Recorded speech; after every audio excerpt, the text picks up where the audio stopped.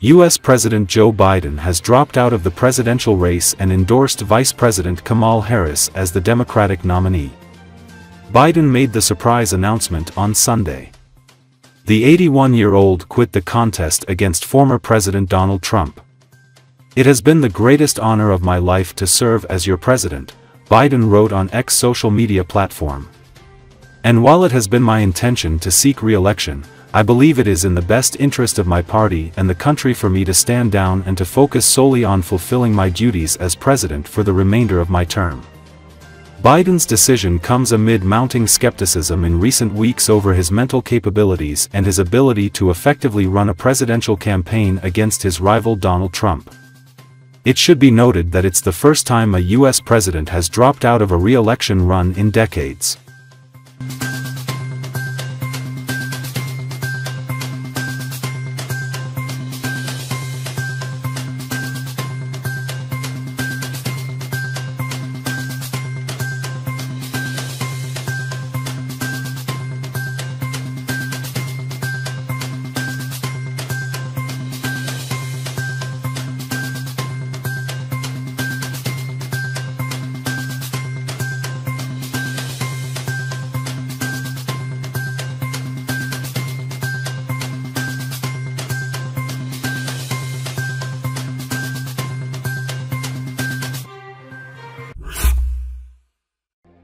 Israel has launched airstrikes on Yemen's Red Sea port city of Hodeidah, one day after the deadly attack on Tel Aviv by Yemen's Houthi militant group.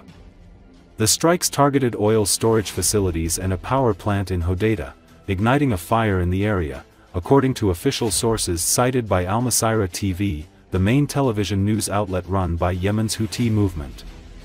The news outlet quoted health officials as saying the air raids resulted in casualties, including fatalities, without specifying a number. Al Arabiya says 12 Israeli aircraft, including an F-35, targeted the port of Hodeidah. The attack comes after recent attack on Tel Aviv, for which Yemen's Houthi militant group has claimed responsibility. One person died and 19 others were injured in a drone attack on the U.S. Embassy in Tel Aviv on July 19. Israeli officials promised to respond to the attack with Defense Minister Yoav Gallant saying in a message to the Houthis that Israel will settle the score with anyone who harms its security.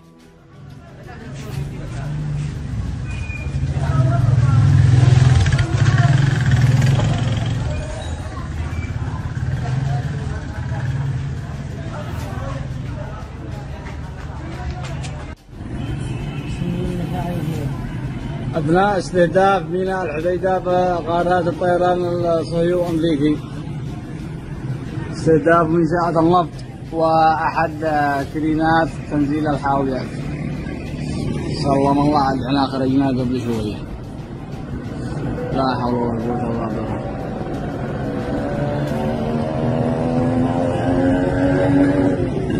يوم القيامة.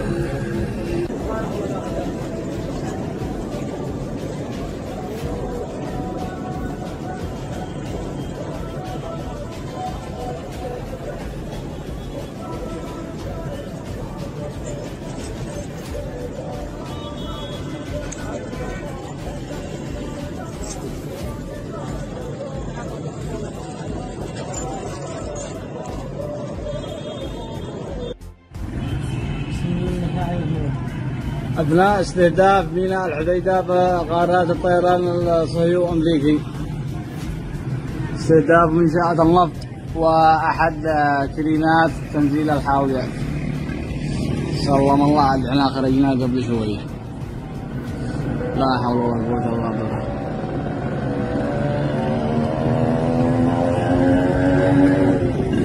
يوم القيامة. أجل غزل لهم سرا